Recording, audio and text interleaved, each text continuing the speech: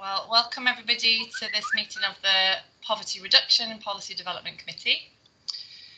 Um, we're holding this under the local authorities coronavirus meetings Wales regulations. So this is a uh, a live broadcast uh, which members of the public can can view. Um, so we need to be careful about our meeting etiquette. Remember that we can't talk over each other and actually everybody will hear whoever is speaking more clearly if everyone else remains muted. So please mute yourselves and then just unmute when you're called to speak. Okay.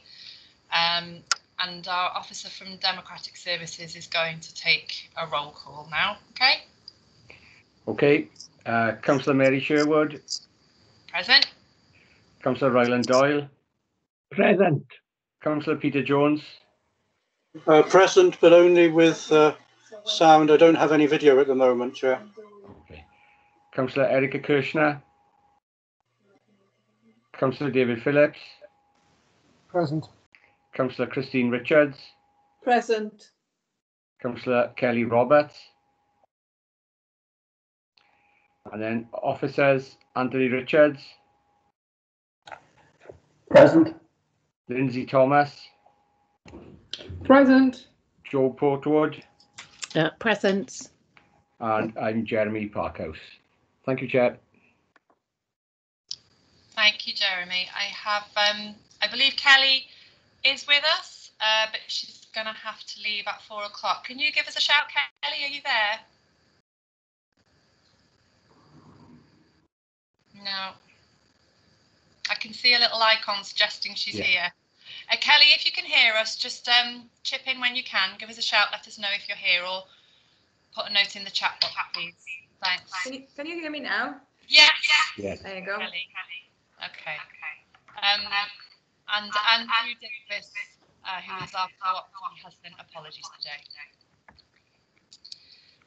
Right, so the first task is to approve um, the minutes as a correct record. I have checked them and I'm happy with them. Can I have a seconder, please? Christine, thank you very much. So, um, Jeremy, you'll advise what we need to do to officially sign off the minutes.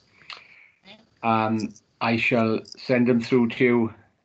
Um, so if you can sign them, scan them, send them back, that'll be fine.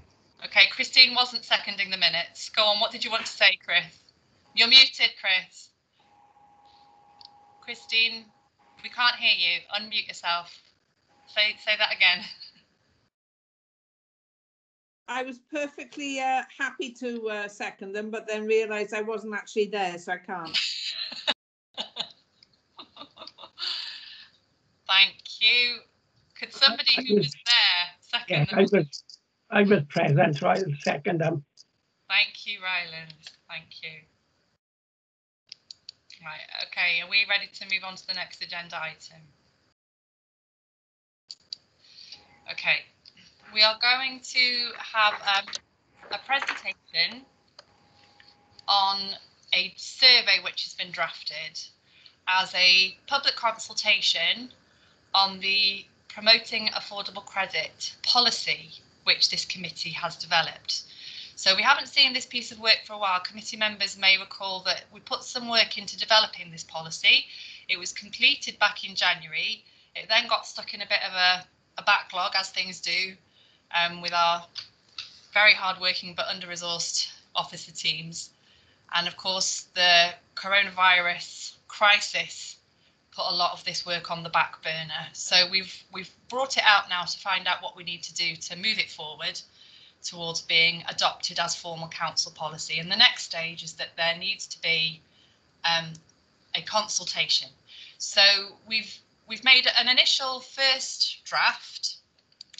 Um, and I'm I'm glad that also in attendance at this meeting we've invited Alyson Pugh, who's the relevant cabinet member, um, to join in this discussion about uh, the survey that's been drafted. So Joe Portwood has prepared a presentation just to take us through the the outline of the draft survey. So the working group will already have received this and had a look at it and had a chance to comment. Um, but I'm going to let Joe take us through the presentation and then we'll have a discussion. Okay, over to you, Joe. apologies, Mary. I didn't realise I was doing the presentation. Sorry, who's Sorry. doing the presentation? Sorry, because the last the last thing I did, I sent you the um, translated document, and sorry, I should have clarified whether it was you or me doing it. I just assumed that you would. I'm sorry. One, one of us can do it. So, um, is it is it is it as a PowerPoint? Did you send me it as a PowerPoint or as a Word document? No, sorry, ah. sorry, it was just the word document. Okay, but it's being translated in case anybody viewing wants to see it in Welsh. That's right, isn't it? Yes. Okay, well, I'll tell you what, I'll just put it on my screen and we'll just have a read through it. So let me just find that now.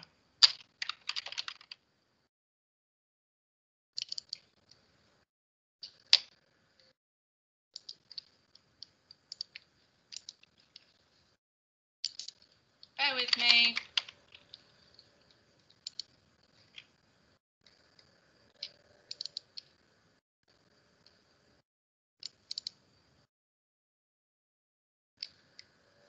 Right, okay, so I'm going to try and open the two documents side by side, English version and Welsh version, and scroll through them.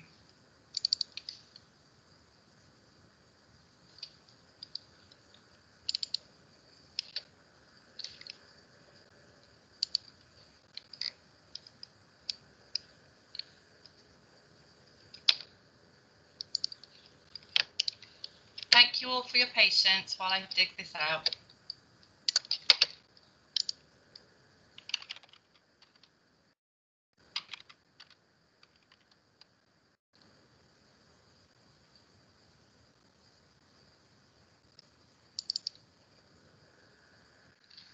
Okay, now I'm able to find the translation, but not the English version.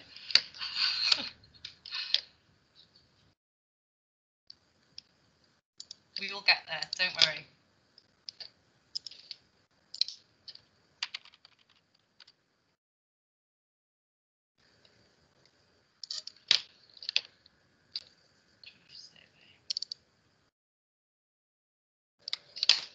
Okay, I've found, I now have both versions, English and Welsh. I'm mm. finding it difficult to align them both next to each other on my screen. But I'll do my best. Doing it as well.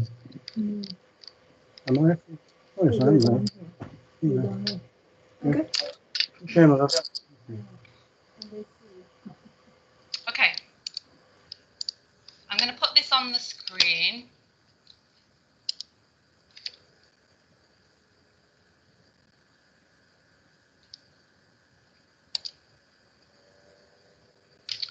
Are you all able to see my screen? There's a Word document which says Promoting Affordable Credit, Survey Draft 1. Yes, thank you, Mary. Okay. I think what I'm going to do is I'm going to read through it in English and then I'll put the Welsh version on the screen for a couple of minutes for any viewers who want to see the Welsh version, but I won't read through it. I'm afraid my Welsh probably isn't up to doing a good job of that. So, the introductory text reads as follows. In Swansea Council, we want to change how we work when we hear that someone has money worries. Now, when people speak with the council about money problems, we might not do anything, particularly if the conversation was not really about money. For example, if someone who needed to get to a particular location mentioned to a council officer that they couldn't afford transport, the officer might not do or say anything about that. Money problems are something we want to step up and support people with. Anyone can fall into financial difficulty, and an individual's money problems don't just affect them.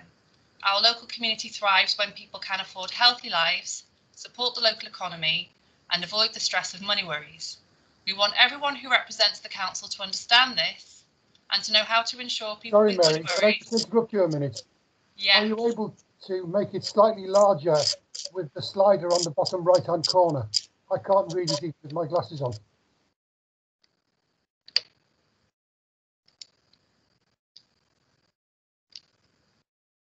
how's that? That's better, thank you very much. Okay. Um, our local economy, our local community thrives when people can afford healthy lives support the local economy and avoid the stress of money worries. We want everyone who represents the council to understand this and to know how to ensure people with money worries can get free independent help if they want it. There are very expensive ways of borrowing money. Some shops sell things with easy repayment plans, but the total cost is very high.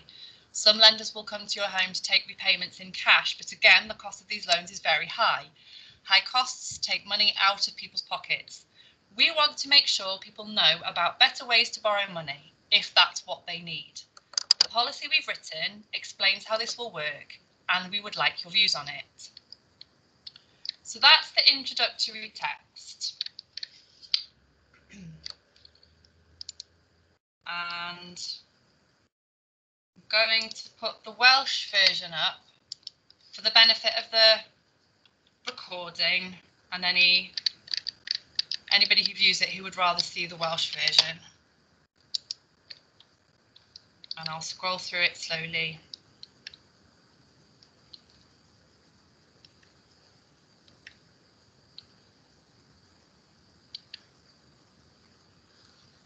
Okay. The feedback that I've had so far on the introductory text is that um, where we've said council representatives, I think someone has suggested just being clearer and saying officers, council officers and councillors. My thinking was that there may at times be other people who represent the council or who are contracted to do work on behalf of the council who might not be officers or councillors. So we could have a little discussion about that. Um, and then we're going to go on to the actual questions of the survey. There are only six questions. I'm going to move back over to the English ones.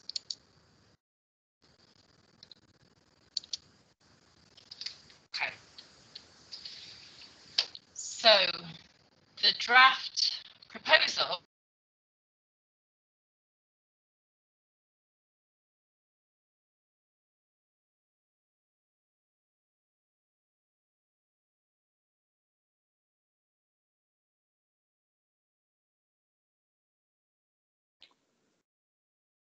Has something happened? I can't hear Mary. Yeah. I'm Ah. back. My internet. That was my internet. right. Sorry. Hey. Um. Okay. So a, a piece of feedback from the working group who looked at this prior to this meeting was that I don't know. I don't know is always useful. Yes, no, don't know, and space for further comments. So here are the questions on the survey. Uh, question one, the policy is for council representatives. Again, we could change that to council officers, not for members of the public. But having read it, all the explanation above, do you feel clear about what it aims to do? Question two, do you think this policy is a good idea? Question three, have you ever spoken with a representative of Swansea Council about yourself or someone you support having financial difficulties? Question four, if yes, A, was their response helpful? B, do you think this policy would have made a difference? Question five, are there any other changes you think Swansea Council should make in the way it works with people in financial difficulties? And question six, would you be willing to work more with Swansea Council on its work to support people in financial difficulties? If so, please provide your contact details. So you'll see what we're trying to do here is take advantage of the opportunity to have a wider discussion with people about how the council could support them if they were in a low income situation. I'm going to put up the Welsh version of the questions.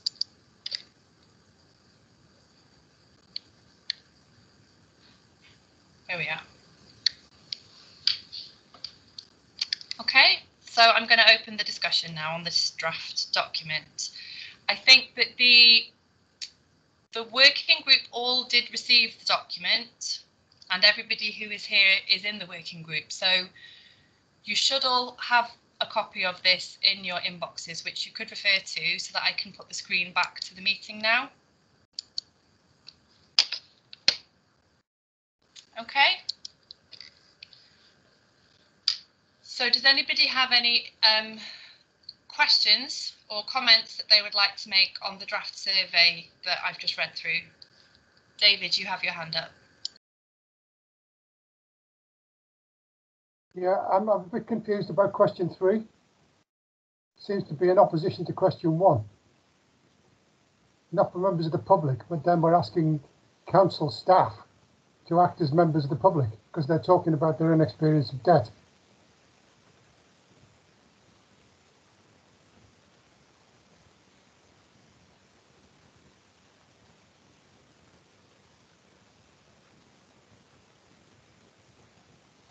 Sorry, you've gone. Can't hear you. Sorry. The promoting affordable credit policy is a policy that has been written for internal use, for corporate use. It hasn't been written as a public document. So we're not necessarily trying to write the policy in a way that it makes exact sense to people. I hope that it would make exact sense to people, but more importantly, for the purposes of the survey, we want to make sure that respondents to the survey understand what the policy is trying to do. So we're saying that the policy hasn't been written for the public, it's been written for the council, but have we made it clear what the policy is trying to achieve? So that's what question one is about. Question three is asking the respondent if they ever have actually discussed their financial situation with somebody from the council. So we're asking council officers to say, have they discussed their own situation with council officers? Well, no, the, the, the survey is for anybody. The policy is for council officers, but the survey is for the public. Ah, This is a public consultation on a policy which is a council policy. I'm confused then. Um, this is a policy that's internal, Yes. so these questions are related to what? This is a public consultation But- on a draft policy. If it's a public consultation, what's question one got to do with it? And if it's not a public consultation because it's involving council officers, why have we got question three? Question one is asking whether the respondent understands the policy or understands what the policy is trying to achieve. It's a consultation. We're consulting on a draft policy. Yeah, but we're not one. going to give it, yes, yes, yes, but we're not going to give it to members of the public. Yes, we are going to give it to members of the public. The And Why are policy we has saying been, it's not for members of the public at the top then? the policy is not for members of the public, but the survey is. But the survey then is asking them about something they're not going to get. Policy document is for internal use, but it's expecting council officers to work with the public if they disclose that they're in financial difficulty. Um, sorry, I think the questions are confusing then, because I still don't understand. There seems tension between questions one and three. If this is a document, this is a policy document for the council, and we're asking council officers, we shouldn't be asking council officers about their experience of debt. It's about whether, as a council officer, the policy makes sense. Um, The survey is for the public. The survey is for the public. but I don't understand, therefore, why are we saying in question one, that the policy is not for the members of the public who were consulting as part of the survey? All, all we're saying with question one is that it's an internal working document. That's all. But we can take that bit out if it's confusing. We can take that bit out and No, no. say, If we, if it hasn't been given to members of the public, how are they having read it? If they are reading it and commenting on it in this survey, then they must have been given it. They've been given a document that we're saying isn't for them. Okay, but we, we do consult, we frequently consult on documents that aren't actually written for the public, don't we? We consult on internal policies all the time. And then there's a question mark over how how clearly understandable they have to be for members of the public who aren't going to Well, work okay. into those policies. But it's fine. I think I personally think that the policy is written very clearly in very plain English, which members of the public will understand. So I'm I'm Can we happy make to- question, I understand, right, I think I'm getting there. Can we therefore make question one a little clearer. We, we can get rid of This, this, this, this policy is to guide council representatives. Yes. Having That's read it, do you, do you think it's clear? that It, it, or it, it does what it's supposed to do, the council representatives will understand it? Because we're asking members of the public what they think members of the council, council officers will react to the policy. And frankly, I, t- I don't think that they'll know that. Yeah, that's not really the intention of question one. The intention of question one is to say, although this document isn't really for public view, it's for internal council use, do you nevertheless understand it enough to complete this survey? That's really what question one is trying to say. But I think I think we can do better than that. We don't need to apologise that it's a jargon-filled internal document because it isn't. I think it's quite a clear, well-written document that is understandable for the public. So why don't we just take out everything before do you? Why don't we just leave question one at do you feel clear about what this policy aims to do? Should we do that? Mm.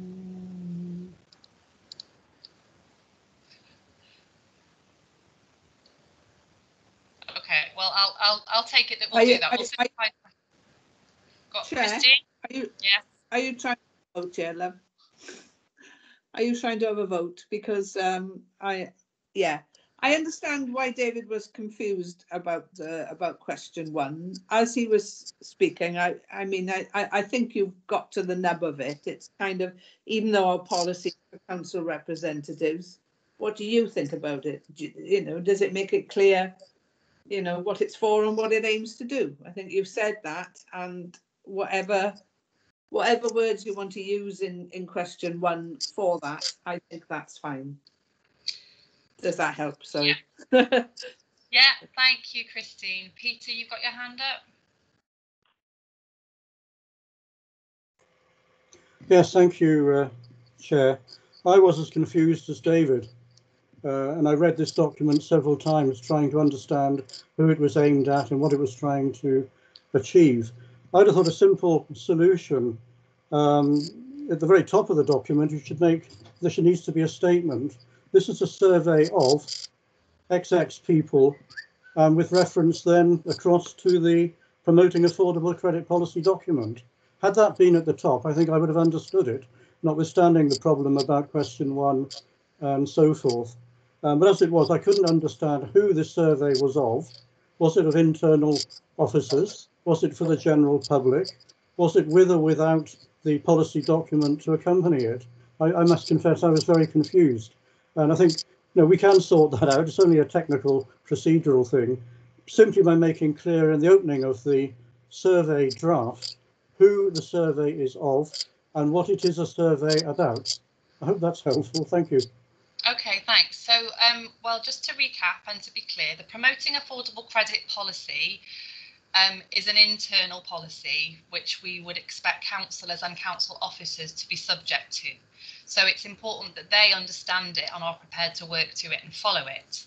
But when we go out to a public consultation, we ask members of the public to consider the document and to answer the survey questions on it. So there's, there has always been a tension in council work when you're asking the public to comment on something that might relate to procedures or teams or processes that they're not familiar with and don't understand. And this can be alienating when you're asking the public to comment. So as a committee, I think we've got a decision to make about whether we try to make the policy very accessible and easy reading, or whether we just say it's not meant to be accessible and easy reading, but here is an overview of what it's trying to achieve. Do you think it sounds like a good idea? Um, so I think obviously when the survey actually goes out, when it's actually live, it will be accompanied by the policy because that's always how we do our consultations. The policy will be there.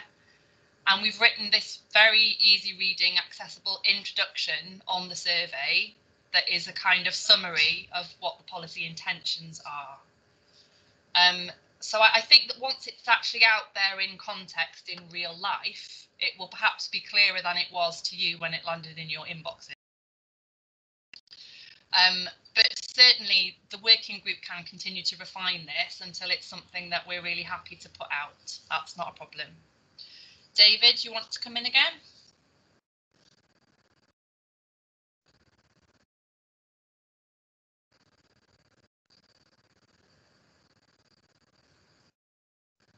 You're still on mute, David.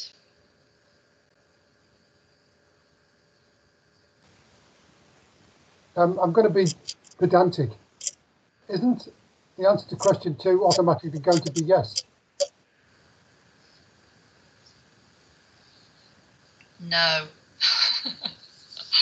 some people some people might complete this survey who never have spoken to anyone in the council about their financial situation. But they're, they're going to, no, the question two. Is anybody seriously going to say a policy for having affordable debt's a bad idea? Oh, I see what you mean. Do you think this policy is a good idea? I, I'm I think I I'm, think that- I'm, I'm very concerned always about public consultations. Public consultations are inevitably always about getting the answers that we want, not the answers that we need. And when we frame the question, we have an intention as to what the answer wants to be, because that's the way we frame the question. Um, so, you know, question four, four relates to question three. Um, so have they, have you spoken to it? In fact, three and four are the same question. Not- They're not separate, because question three is, is, have you spoken to them? Yes. Well, you can't answer question four if you haven't answered question three. Three and four the same question. yeah. Um, but, so was their response helpful? No. Well, we're not asking them why not. And I don't think the sort of things you're going to trigger in these five questions are covered adequately by these five questions. Do you think the, do you think this policy would have made a difference? Uh, possibly, I don't know. Um, I, I, I, it, it, the, the sort of things that we want to get at about what the public need in terms of the council's attention to affordable debt, I think can't be dealt with by this sort of written consultation. I think it can only be dealt with by people talking face to face. Because I think some of these answers would need to be probed and, and teased out. Um, if in question 4A they say, was their response helpful? No. We need to know why not. Was it the attitude of the officer? Was it the lack of knowledge of the officer? Or, or is it because the council's um, policy, um, its directive, direction in response of affordable debt is, in your view, completely misguided? And we're not asking them that. Well, we are asking whether there's other changes. I, I'm, I'm not entirely sure that I ag- agree with this takes an open view on the council having a policy. Um, Okay. I mean, affordable debt is clearly very necessary. Otherwise, we're going to push people into criminality. Um, having the ability to borrow short term, even at high interest rates, is something that many people in the city have to do because that's the way they manage their finances. And we, what we should be doing is providing them with an alternative. And frankly, if the council is borrowing so much money to do things, we should actually borrow money to start doing some of this, rather than building bloody buildings. Actually, providing the people of Swansea with access to affordable debt at reasonable rates of interest, or, or even no rates of interest, would uh, do a great deal more to address the issues of poverty in the city and county of Swansea than building a bloody arena. So the, the fact is that with a with a, any public consultation, council officers and people who might work whose work might be affected by the policy, they will also have the opportunity to respond. Same as when the council puts out its consultation on the budget, we can all respond. You and I can go online and respond to that consultation. Council officers can go online and respond to the consultation. Now, I don't know. There might there might be some people who think that this policy, for whatever reason, isn't a good idea. Now, ev- what we're suggesting is that on every question, there is a, a space for further comments. We're not just asking yes, no. We are providing space for people to tell us more of a story if they want to. And then towards the end of the survey, it does ask if people want to contact us and provide their contact details so that we can have more of a discussion with them about how the council can support people on low incomes. So I am prepared for people to say that this policy isn't a good idea. I, do, I, I think it's a good idea. We all think it's a good idea. But the reason why we undertake public consultation is because we're prepared to hear something that we weren't expecting to hear. So I am prepared to hear that it's not a good idea. And I would hope that anybody who said no would give us more information in the comment box. We can enhance the text to prompt people to use the comment box. We can say, please explain more in the comment box if you would like to. We can include that on every question.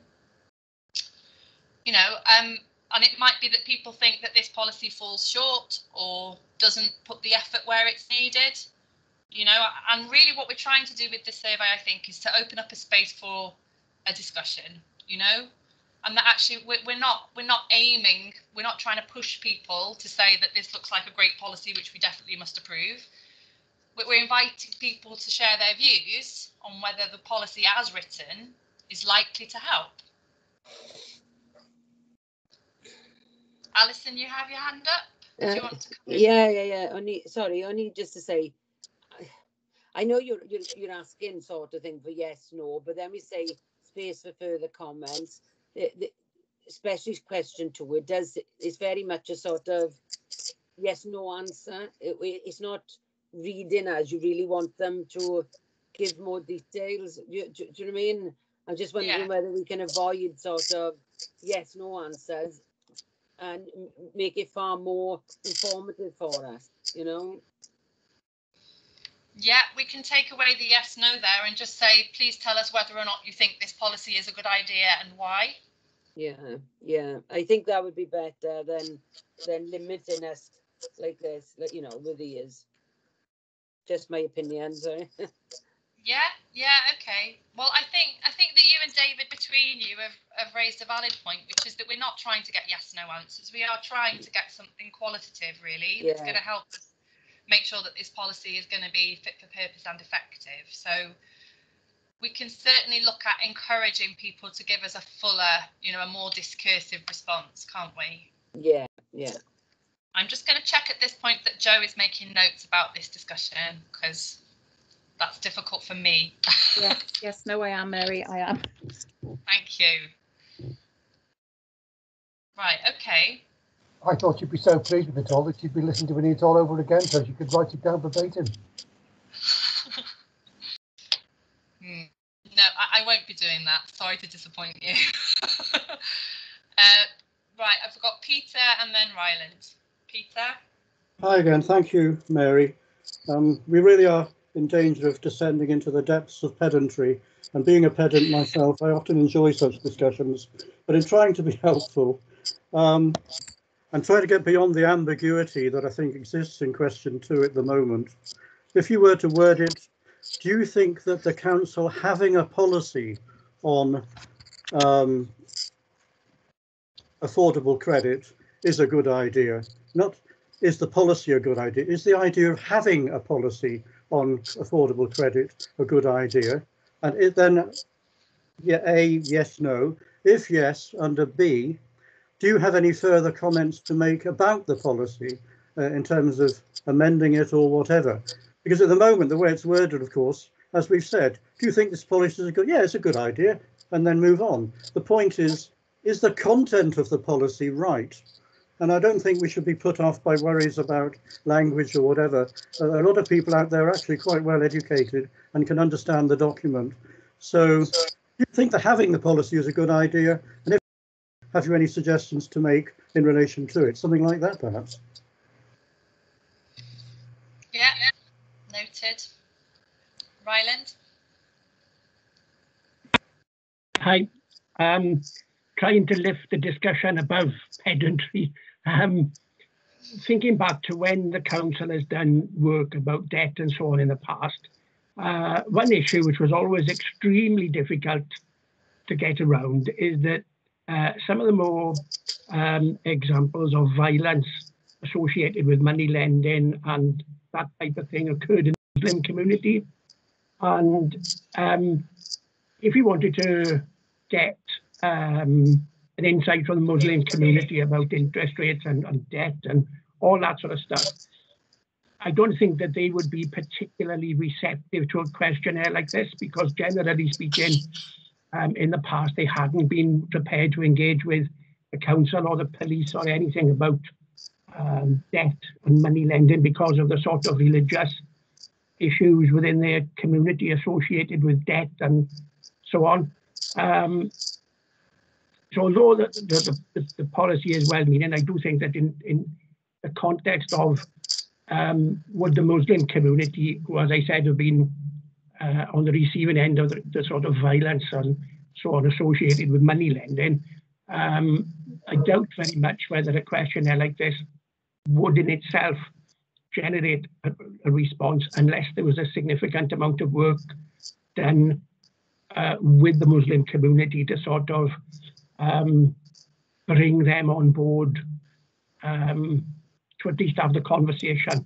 Because if you think back some years, the Muslim community wasn't engaging with any discussions with the council or the police in terms of um, money lending, high interest lending, anything like that. Okay. Um, well, the policy has been drafted and this committee did formally move it forward to be progressed down the machine of becoming formal council policy.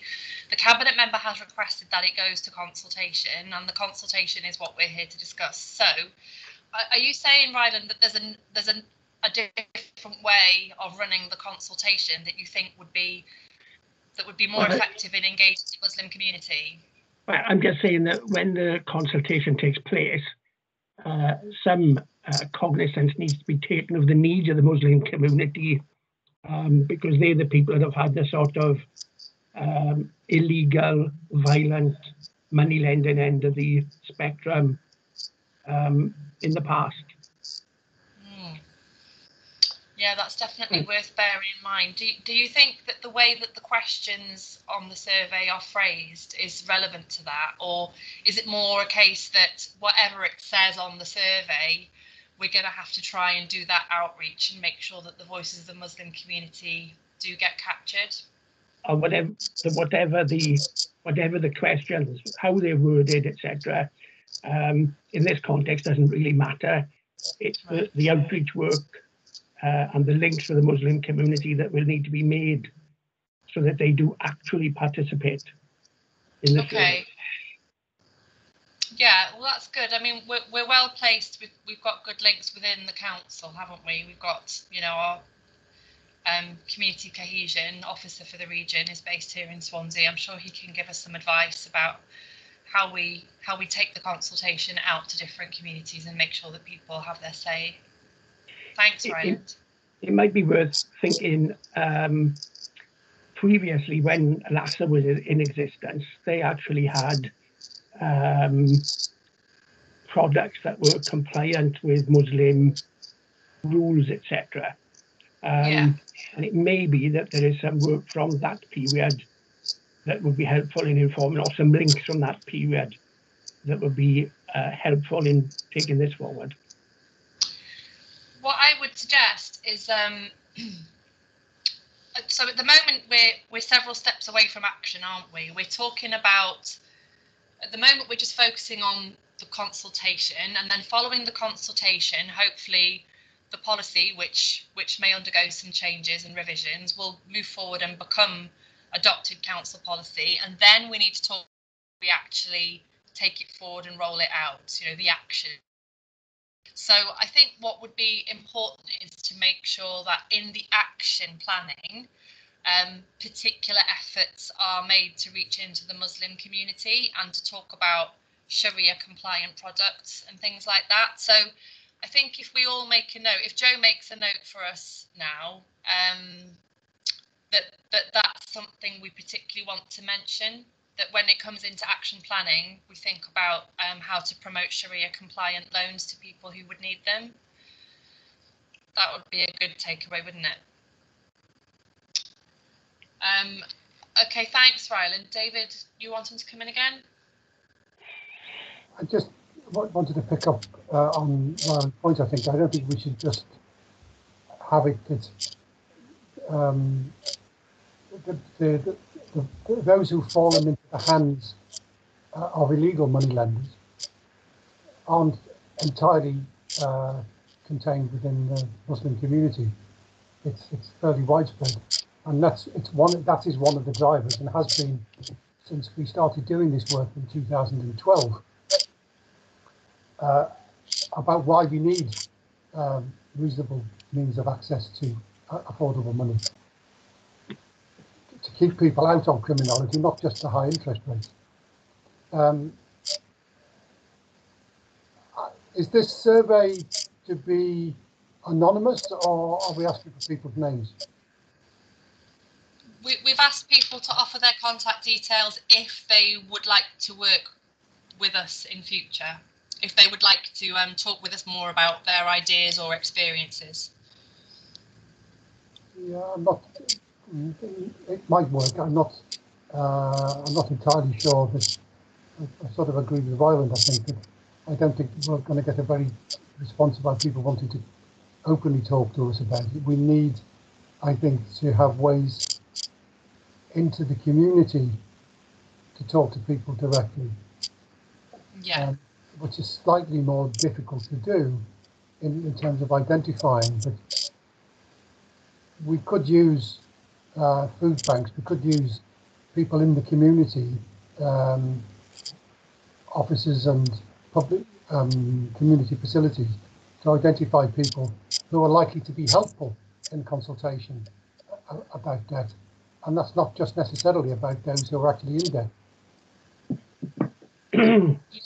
we, we have already started discussions with um, with Unithan and with some of the local housing associations and our tenant participation officer about bringing people into our working groups who have experience of the council's debt collection processes to help us with our other piece of work that's going on developing um, a debt recovery policy um, and as as those discussions pick up, I'm sure that they'll also help us with this piece of work on on promoting affordable credit. I think the the survey isn't. I'm certainly not seeing this survey as our only way of reaching out to people. It's more that we are reaching out to people and we're hoping to involve them in our discussions. It's more that the, the survey presents an opportunity to invite people to contact us if they would like to get involved and that we welcome that.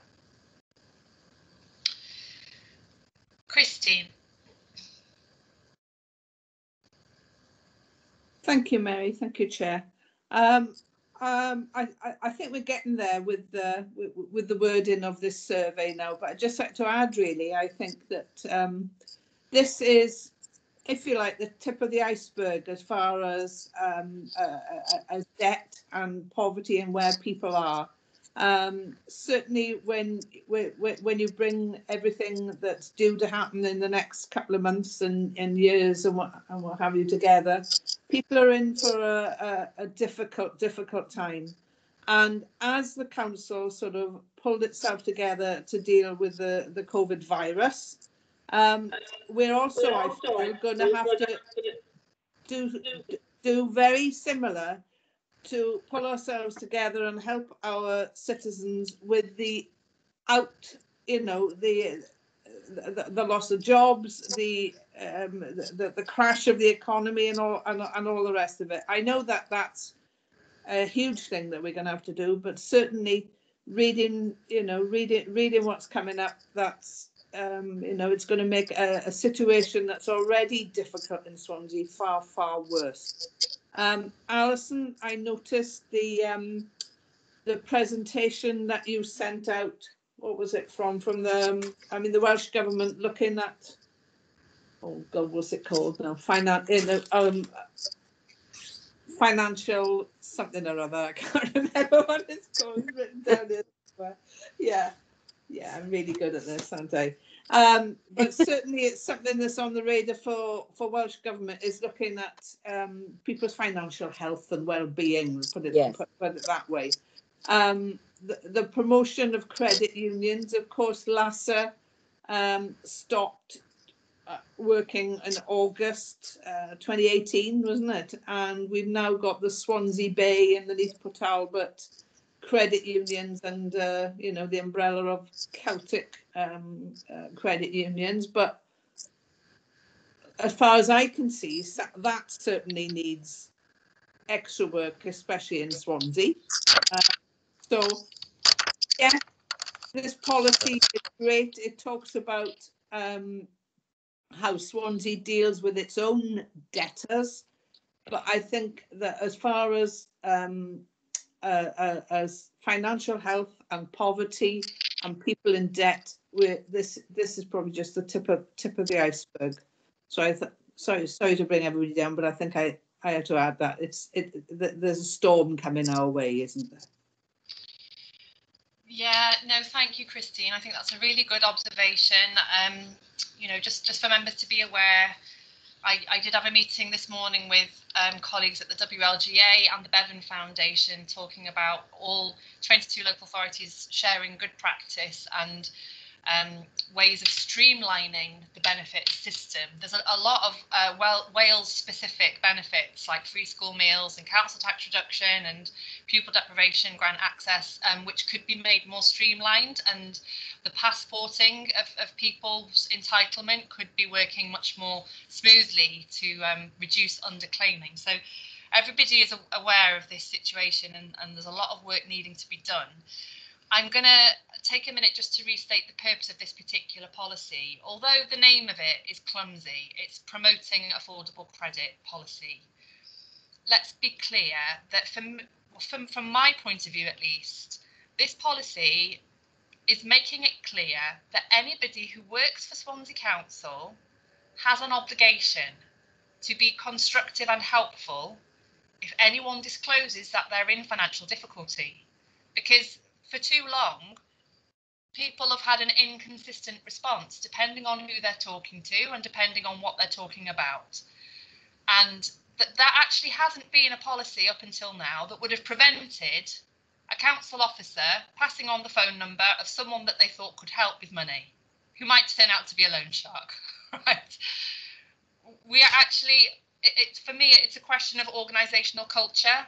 It's it's trying to to get everybody who works for this organisation on the same page, where we're saying debt hurts Swansea, and we want everybody to be supported. And there is free, independent debt advice out there, and there are better ways of borrowing money than you might be aware of. The action plan that will follow this, I mean, you may remember that actually, you know, the, the cart did come before the horse a little bit with this because we already had a high interest lending action plan. And we decided not to call it that because we don't want to plan for people to undertake high interest lending. We want to, we want to promote affordable credit instead. But the high interest lending action plan um, came before the policy, and we decided to create the policy to make sure that that keeping a weather eye on um, high interest lending and trying to steer people away from it was something that the council would always do. So that the policy really is a placeholder for those actions to do with promoting the credit union, loan shark awareness, steering people away from um, your rent to own shops and your doorstep lenders. But more than that, for me, it's about saying if somebody mentions to you that they're in financial difficulty, you as a representative of this organisation have an obligation to be helpful. You know, you, you set them up an appointment with um, citizen advice or money advice or shelter or whoever it is before they leave and make sure that they get some support. Um, and I think that that changing culture, we're already starting to see that changing culture because over the COVID period, you know, the usual sense of judgment and stigma that goes along with benefit claiming has softened because a lot of people, you know, amongst the ranks of our own officers and members and also just out there in the general public, people are a lot more sympathetic now to the fact that people's financial situations are precarious and people need support to understand their entitlements and, and to claim them. Um, so that's what I'm I'm hoping that this policy, once we've actually got it through, is going to try and embed that culture where actually, you know, dealing with your debts and avoiding high interest credit and claiming everything you're entitled to is a matter of civic duty, you know, and we all try and support people to do it. Um, what I'm going to suggest is that we take the feedback that we've had on this discussion and we have one further working group meeting um, to thrash out and finalise the wording of the survey and then we can press this um, forward for public consultation. Is that all right with everybody? Can I just have some indication? Lindsay, you're going to give us some advice? Yes, I just wanted to make sure that um, I carefully looked through your terms of reference and the documents that are going out for consultation should be subject to a corporate report and I think that would need to go to cabinet before it goes out for consultation especially if it's if, as the correct proposal is is that it subsequently becomes a council policy so that would be the next step whatever you agree there would be a corporate report which of course would have financial uh, legal and equality implications in it and then that would go before the cabinet then for consideration and agreement to go out to consultation and then, of course, it would go back to Cabinet after the consultation with the comments on the, response, on the consultation. Before then, the report goes to Council for final adoption. I just wasn't sure if that was clear. The way you were talking, I wasn't sure whether after the working group it was just going to go be sent out. I just wanted to make sure that there was another step to be done. And part of that step, of course, is going to be identifying all the consultees, be it individuals, be it stakeholders, be it groups, um, so then it's clear who it's gone to, and it's been a full um, consultation. That was all. I just wanted to make sure. Thanks. Yeah, thanks, Lindsay. I think um, the advice we had from Access to Services previously was that we should ask the Cabinet member whether she wanted there to be a consultation prior to it going to Cabinet. And she said that she would like there to be a consultation. Um, if you're now advising that we need a corporate report to take this to cabinet before it goes to consultation, that's fine. we can, I'm sure we can, we can move that forward while we're carrying on our discussions about the form that the consultation should take. So um, perhaps we can. I mean, we already we already moved at, at a previous formal meeting that this policy was going to be taken forward through the corporate machinery towards adoption. So I don't think we need to um, vote on that again. That's already been voted on. Um, so Joe can just go on and submit that corporate report. Mm -hmm. Oh, is that okay, Joe? Yep, that's fine. Yeah. Okay, thank you. Um, let's move on to the next item on the agenda then. Um, Anthony is going to take us through a presentation explaining the changes to TV licensing for the over 75s. And I know that he's also going to be mentioning other stuff to do with TV licensing that's not specific to the over 75s. Um, what I would like members to be thinking about while we're listening to Anthony is which bits of this presentation is it important that we try and disseminate more widely and how might we want to take that forward? Okay? Over to you, Tony. Thanks. Okay, thank you, Mary. Um, good afternoon, all. I think I think you all know me. So uh, if you don't, it's uh, Anthony Richards um, from the Tackling Poverty Service. I'm going to, Mary, I'm going to request control of the screen so that I can um, share the presentation.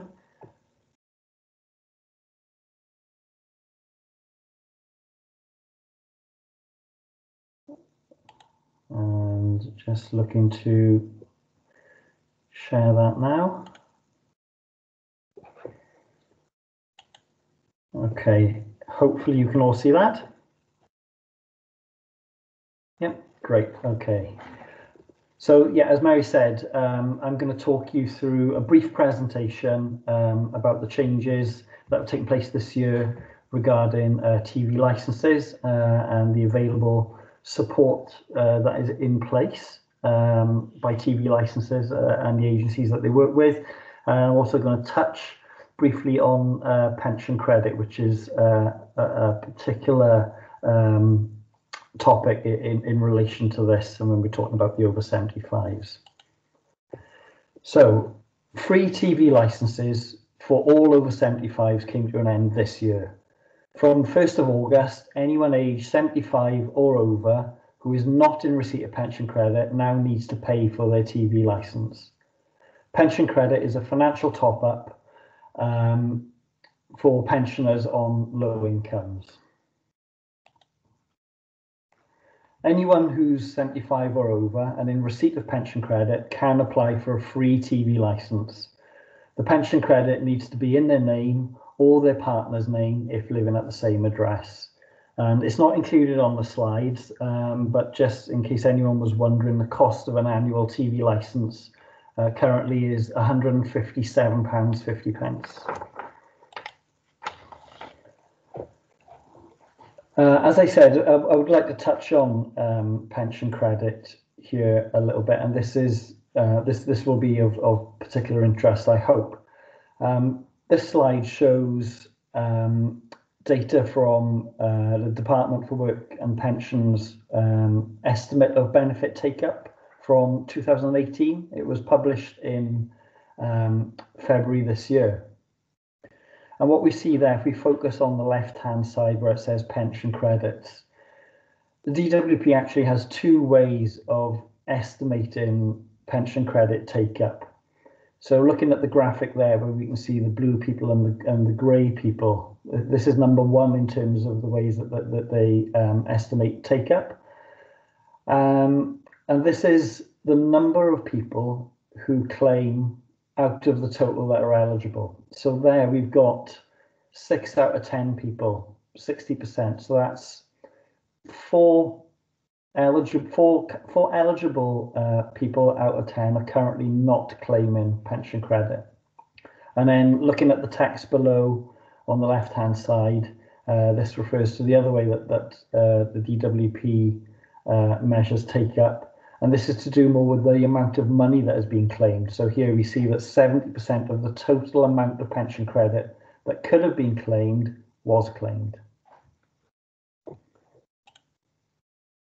Okay, so um, TV licensing have um, have introduced a new payment scheme called the 75 plus plan. And what that scheme does, it allows the cost of the license to be spread out with no additional charges.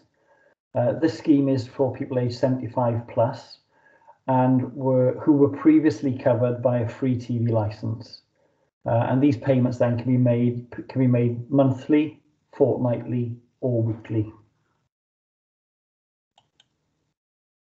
I'm next going to talk about, um, so that, that was um, a brief overview of the changes in terms of uh, TV licenses for 75s and over.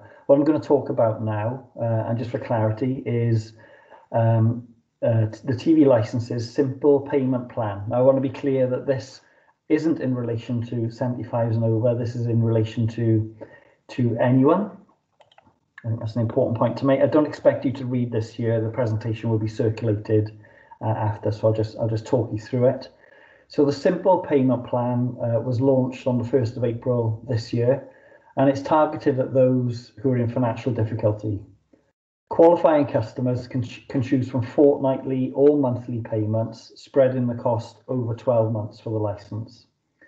It offers flexibility if a payment is missed. Missed payments would be spread across the remainder of the plan rather than doubling for the next payment that is due. Um, any and then it does state there that customers who are removed from the plan if the uh, sorry let me rephrase. Customers are, are removed from the plan if three pay, consecutive payments have been missed. So in order to um, for people to take up the um, the simple payment plan um, it's it's done via referral. So anyone can make a referral. So frontline workers, counsellors, uh, anyone who's supporting people can make a referral, but that referral has to be made to uh, a debt advice uh, charity. it's that debt advice charity then that would be engaging with the individual and they can um, apply for them or support them to apply uh, for the simple payment plan.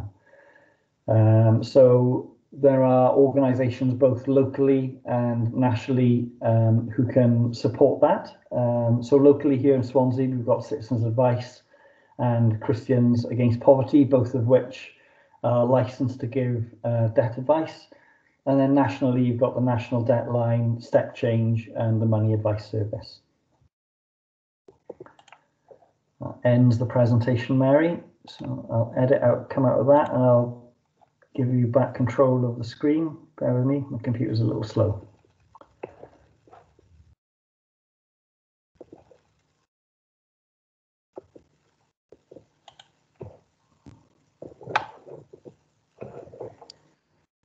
Fab, thank you, Tony. I'll just open this all up for questions. So, David, you have your hand up? I've got two questions. Um, I know it's not your slide, um, Anthony, but uh, it talks about Christians against poverty. Do we not have it for people who aren't Christians? Uh, Marlon was talking about Muslims. They they surely have advice agencies, and shouldn't they be on that leaflet as well? Um, and the other one was I didn't understand.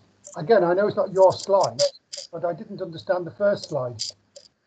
The first slide says one of two things, or there's two ways that slide can be read.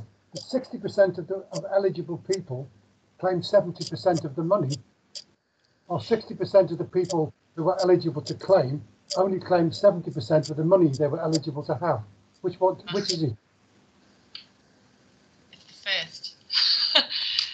it's the first of those two, isn't it? So, um, But 60% of the people claim 70% of the money. apparently, yes. Apparently, the thing is, we're dealing with statistics that Well, get well, rounded. oh, yeah, but 60% of the people claim 70% of the money, it must mean that they're claiming more than they're entitled to. I think that you're, you're probably combining two different sets of stats that aren't really supposed to be combined. The, the fact is that the DWP has two different ways of estimating take up, two different ways. So, one way is that they work out how many people are eligible and they report on how many, what percentage of those people do claim. That's called the caseload estimate, I think. So, by that measure, six out of 10 people who are eligible are claiming. And then you put all that to one side and you look at the more financial estimate, and I can't remember the official name of that, but that is where they look at the total amount that they think should being claimed and they work out the proportion of that which is actually going out the door and they've estimated it to be 70%. So they're, they're two different sets of stats that don't necessarily relate to each other. I agree with your conclusion that, you know, on the face of it, it looks as though 60% of the people eligible are claiming 70% of the pot. But it's probably best for statistical reasons not to combine the two estimates. It's either that 60% of the people eligible are claiming, or it's that 70% of the eligible money is going out. And um, yeah, Christians Against Poverty are just a really well known and effective and well respected debt advice charity, and they provide debt advice to anybody. Um, but that is the official name of the charity, um, and they're listed by the TV licensing people. That slide that listed those debt advice organisations, I believe Anthony lifted it straight from the, F- the TV licensing website. Um, so those are the uh, organisations that we know are already recognised by TV licensing as appropriate organisations to signpost people for the simple payment plan. But we also know that they have other ways of working um, and that they have other referrers who are not listed on, on there. And I'm sure if there was a charity that was properly um, accredited um, that did provide debt advice, they would take referrals from them as well. Are there any other questions for Tony specifically on his presentation before we have a bit of a discussion? I've got nothing to add in terms of you answered those questions from David. Like, yeah, thanks, Mary. Okay. okay, good. Um, so the overriding concern for me is that we still have such a huge problem with pension credit underclaiming. And, you know, pension credit um, means more to people than a free TV license. It means it means a lot more than a free TV license. Um, but what I was wondering when I first saw that presentation, I was wondering, could the prospect of a free TV license be used as a bit of an additional push to try and encourage people to look into whether they were eligible for pension credit and missing out. Um, pension credit can make a massive difference to, to household incomes. So uh, that's that's one thing. In general, we need to be trying to encourage uptake of pension credit, and perhaps the prospect of a TV, a free TV license, could help us there. And the other thing then is about the simple payment plan and making sure that council officers and councillors who might work with people who are struggling financially could say to somebody, you might you might be able to get help with your TV license. You might be able to spread your TV license over a longer period, but in order to do that, you need to get referred to the simple payment plan by a recognised debt advice charity, and that would be no bad thing because if somebody is struggling in whatever respect, then an assessment from a debt advice charity could could be really really helpful for them. Christine. Thank you, Chair. It it just struck me that the T I this isn't necessarily council, but it's maybe something that we could push up the line. The TV licensing are writing to everybody about their TV licenses shouldn't they or couldn't they also within that when they're writing to the over 75s be mentioning pension credit?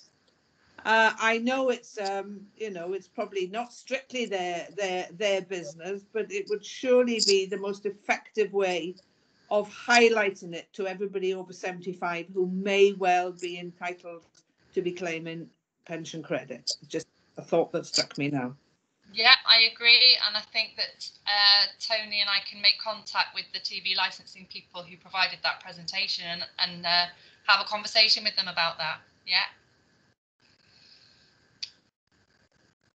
Tony, you wanted to come in? Oh, sorry, Chris, you've gone on to mute. Are you done? no, sorry. I mean, as far as the council's concerned, we are also we write to people every year about the council tax. I mean, that again I'm I'm I, am i am perhaps just you know um, making assumptions, but uh, based on the over over 75s that I know, they take particular note of of bills that come into the house from the council, and um, you know, information in there about pe pension credits would probably be useful as well.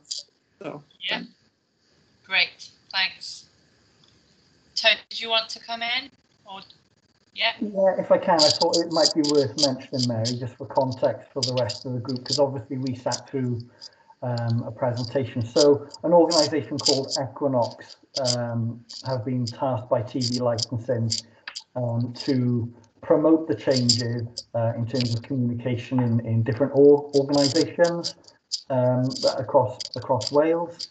And we've sat, we uh, attended a presentation where we were, we were talked through this in more detail than we've given you an overview uh, today. But I just thought it'd be worth, um, for awareness, you knowing that we are also promoting those that presentation and engagement with Equinox because they are in, they are keen to engage with as many organisations as possible. So we put it out through um, the Swansea Poverty Partnership Forum, uh, Flash Inclusion Steering Group, um, just to try and get these um, get engagement or uh, convey the invitation to receive that presentation direct from Equinox to the various organisations that are supporting people across Swansea.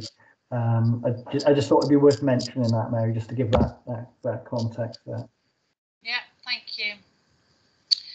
Okay, so um, members may be aware that there has been some effort made by our internal welfare rights team to drive uptake on pension credit. Um, they were able to ask uh, the revenues and benefits team to kind of have a, a, sift through the benefit data that they hold and identify ho households that they thought were probably underclaiming pension credit. Um, so there was there were some letters sent out and people were invited to get in touch with some help. And I know that Alyson circulated um, today uh, an email to councillors sharing some of the results from just one phone call um, where a couple's income was basically doubled, I think.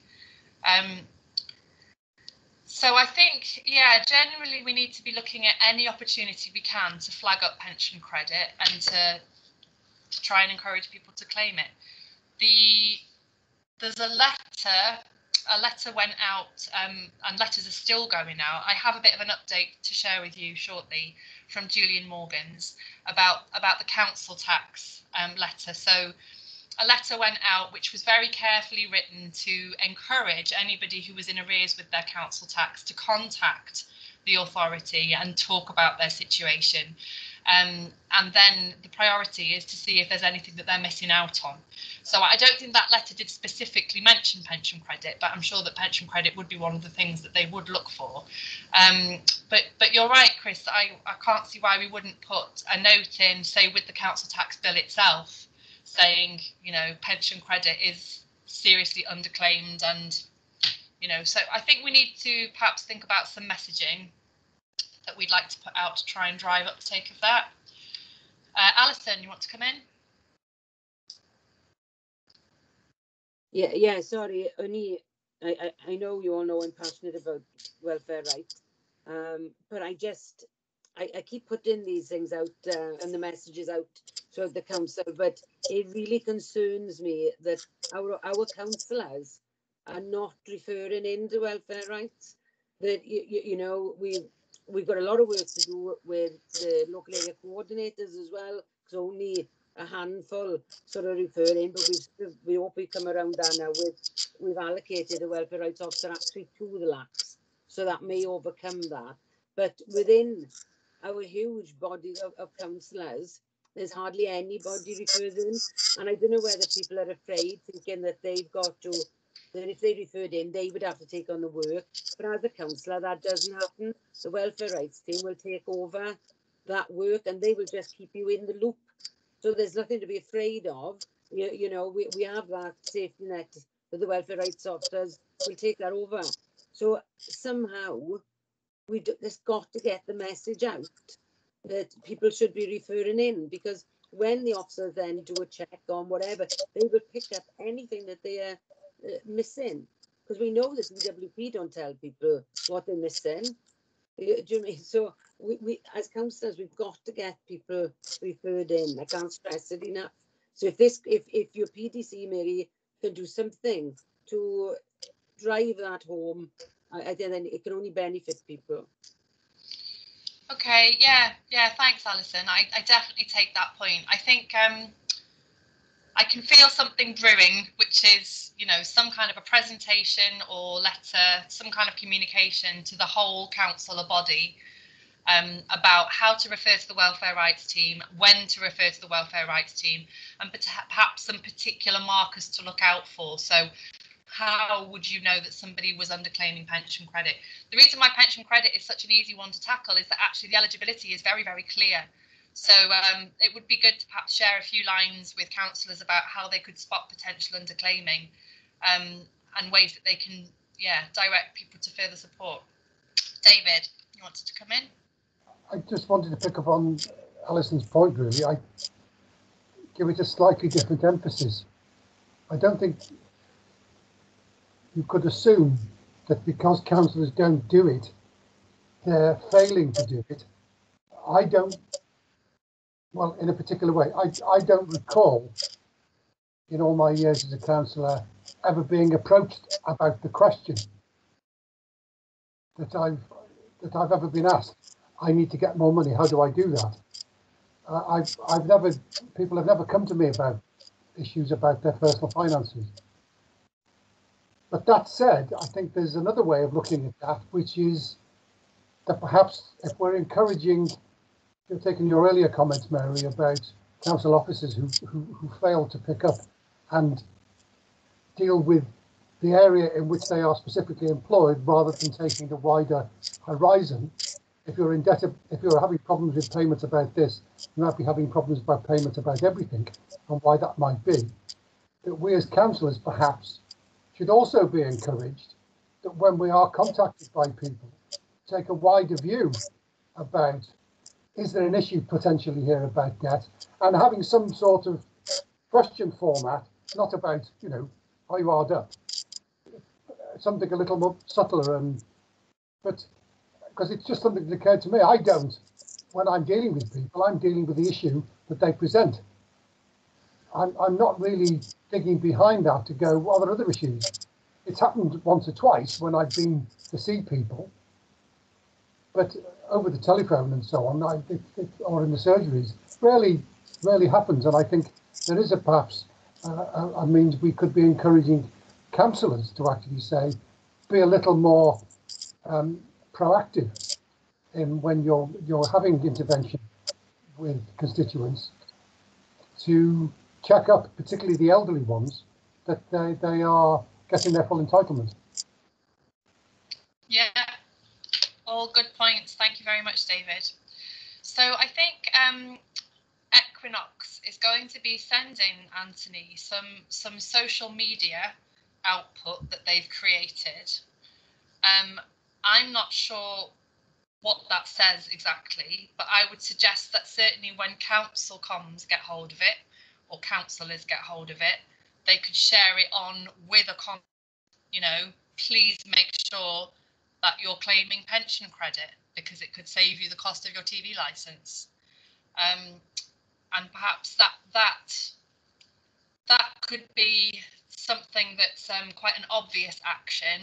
And perhaps we can in a in a later working group meeting we can talk about how else we would like to push this discussion about encouraging councillors to promote benefit take up okay so i'm mindful of time we've got just over 10 minutes left and the next thing on the agenda is our, our work plan. So I'm not I'm not actually proposing a detailed discussion about the work plan, um, but just verbal updates on work in progress, if that's okay. Um, so I think I'm going to hand over to, to Joe for that, I think. Um, we've got some progress to report on the green fairness policy, um, and then also between between them, Joe and Tony, I think will give us a bit of an update on the corporate debt policy. Okay, thanks. Okay, um, so in relation to the green fairness policy, that's progressing sort of very well. We've um, established a working group which um, also includes um, external partners, the Environment Centre, um, our working with Nature Team.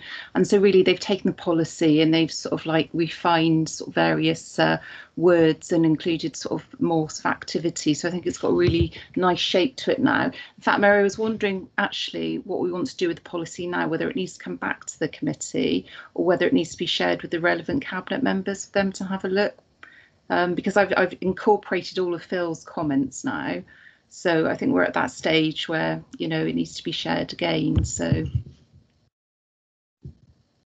Okay, I would say let's share it on with the committee. We'll have a working group discussion and then we'll decide what to do with it next. Okay? Okay. Okay.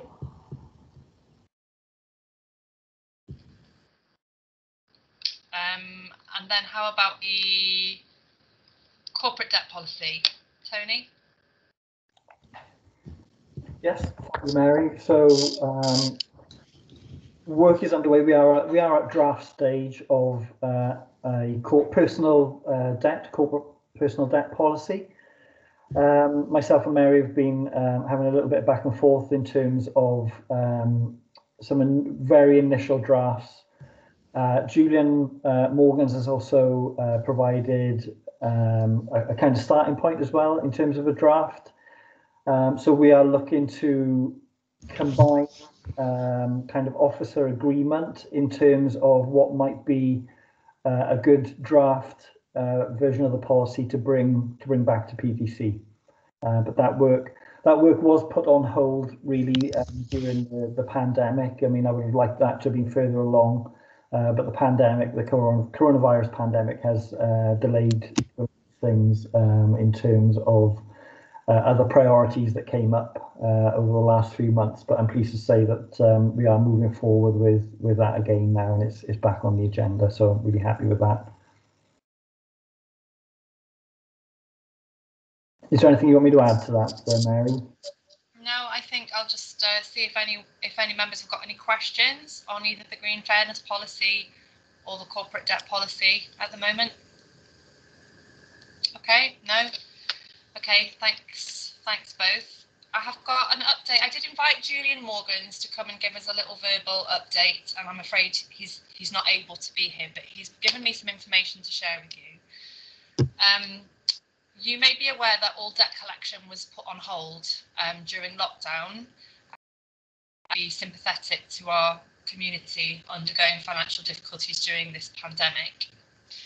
Um, and then a council tax letter was put out, which was um, designed deliberately to be very a very gentle invitation to people to get in touch and see if we could help. Um, and it was sent out to people in council tax arrears. So I have got an update from Julian. So in total, there are about 10,000 letters to go out, um, and they're currently issuing 350 a day.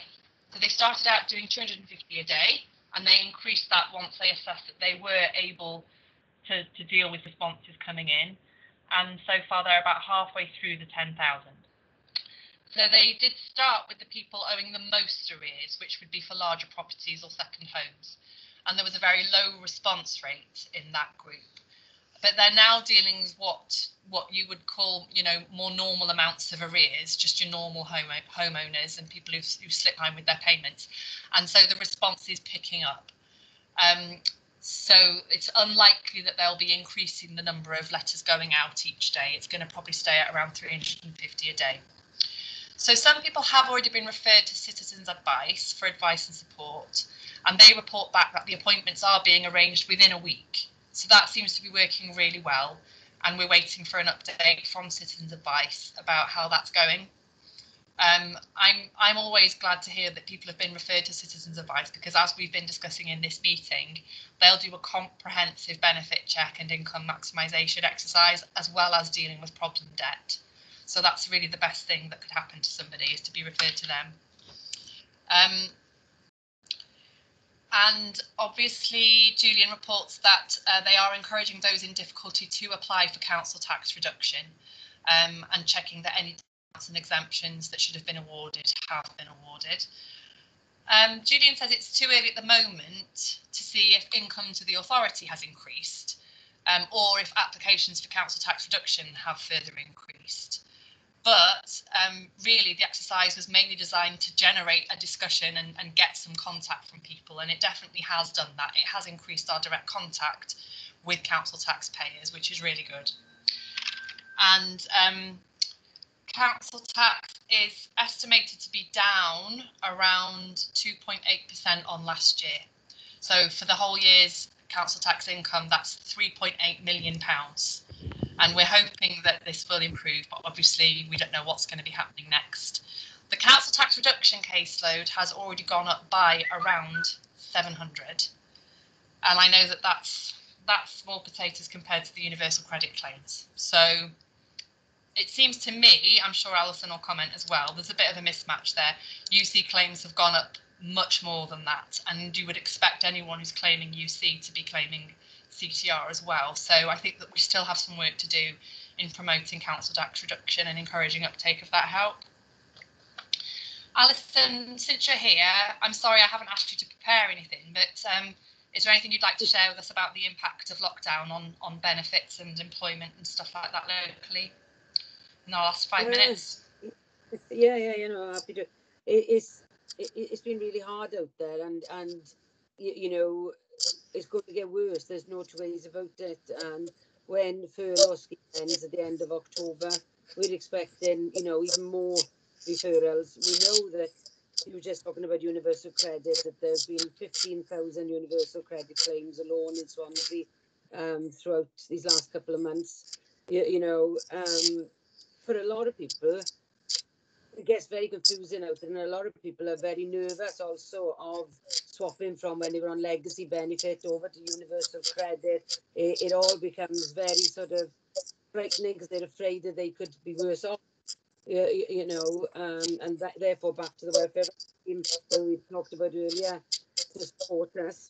You, you know, but po poverty, I think, is going to be like we've never seen in our lifetime now. You, you, know, as more people get made redundant, the employability teams um, have sort, sort of identified with the DWP that they will work, take the vast, the huge volumes that are coming through in cohorts, um, with the priority being our NEETs, so young people, and our long-term unemployed, um, you know, and inactive, sort of furthest removed from work, because unfortunately they're becoming even more further removed from work now as more and more skilled people get made redundant. They take the next sort of jobs down, you know. Um, on saying that, the employability teams, uh, you know, have been able to turn around about a third at the moment back into jobs um, uh, for people, not albeit different jobs, you, you know, but um, but some of the work is there, and the mentors have been doing some fantastic work in getting people ready for work and the CVs. And I think if, if you all go on Swansea Council's website now, you will see um, Swansea working on there, and it's a fantastic piece of work that's gone into it, and it's got all different um, ways of supporting people and and access there. And really, we should we need to be promoting that so people because for lots of people, you might not have written a CV in a long time. And a lot of people don't realize that you have to tailor your CVs to every job you apply for. You, you, you know, um, it, it's, it's, it's quite difficult out there. And we're forcing people to be digital. And we know a lot of people haven't got even got that ability at the moment, you know. Um, very worried about lifelong learning and the sort of essential skills, you, you know, because it's far more than somebody just come into a classroom. You know, that person who is, who is unable to read or write or very limited, they often bring their letters in, they bring their bills, they bring the teachers do so much more than, you, know, and so unfortunately, COVID is hitting our most vulnerable, isn't it? Do, do, do you know what I mean? Um, and making it even harder for people. But like I said, we just now need to work with the teams that are really working hard to make a difference out there.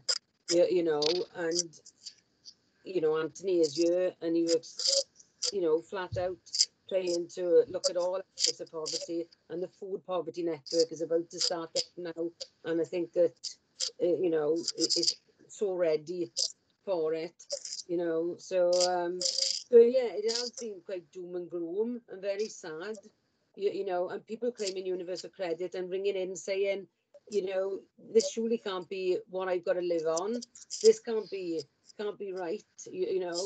But unfortunately, it is awful. It is shocking. And all the people that are out there that have thought that people live high on the hog with when they claim benefits, I think there's been a bit of a reality check for many people now when suddenly that universal credit doesn't even cover the mortgage.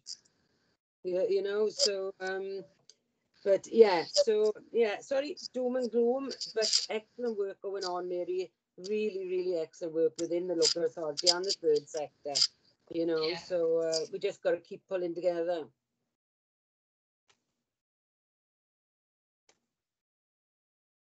Hmm, Have I frozen or is Mary frozen?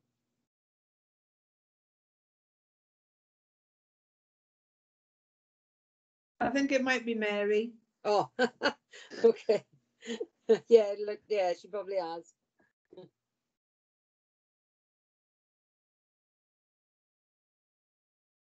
I think we've lost her, have we?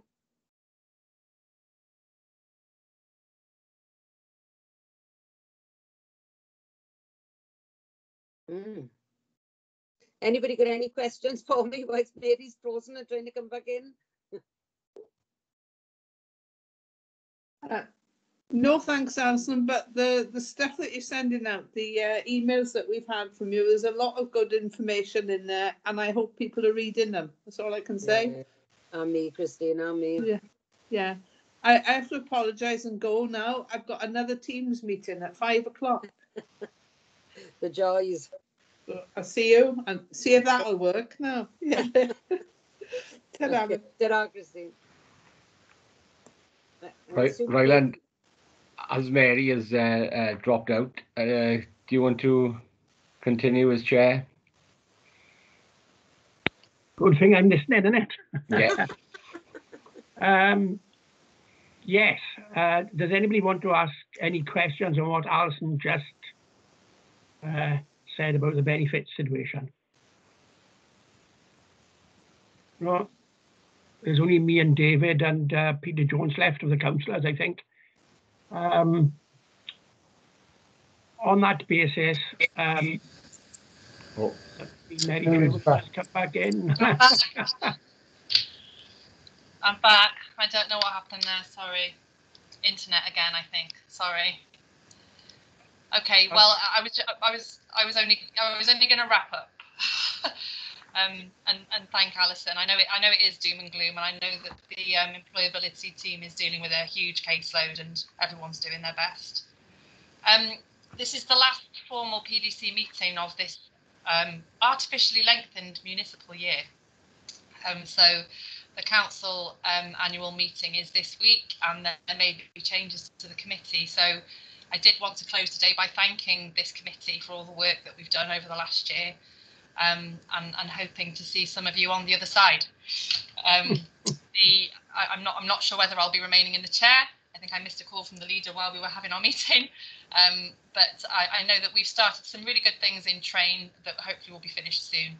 Um, and I, I want to thank um, Andrew Davis, who sent his apologies today. But I, I think as a co-optee, his contribution has been um, very valuable as well. So, so thank you all. And I think with that, um, I'll close the meeting unless Can I just legal ask before you, can I just advice. ask before you do close the Yeah. meeting, is the meeting on Yeah. Thursday afternoon after the council meeting? Is that just the formal one about re-electing officers of the committee? It's a, yeah, it's for the Yeah. committee. It's for the newly for the newly formed committee to elect the chair and deputy chair. Yeah. Right. There seems So um, um, a big gap between the council date time and the start of the PDC. yes, I, I can't comment on that, David. I don't know how that timetabling was decided. But Yeah, yes, that's down, there that's down to that's down to practicalities eh, for setting up the the individual meetings for the PDCs. Is is five or six meetings, so that's just down to practicalities. Well, will they, as they would do live, just follow on from each other or are we obligated because these are online meetings to have them at the, at the Times diary? Um, I think it's we see see what goes on the day really. Um, yeah, you've got you've got to have a set time, so there'll be ample time for for, for the chair, vice chair to be elected, and then on to the next one. Then, so it'll follow an order. That's that's the plan. Okay. Right, we'll we'll call it a close there. Thank you very much, everybody. Thank you. Thank you. Bye. Bye. Bye. Thank you, Mary. See you soon. Cheers. Bye.